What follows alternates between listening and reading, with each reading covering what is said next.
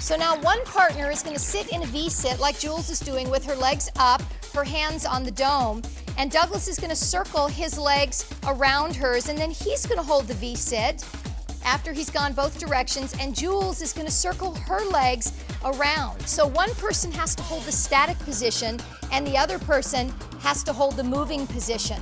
Now, what we're going to do to add challenge again is contact points. The person that's holding the position, that would be Douglas now, is going to release the arms and has to try to hold his feet still enough so that his partner can circle. And then Jules has to do the same thing, holding her balance, using that core while Douglas does the circles.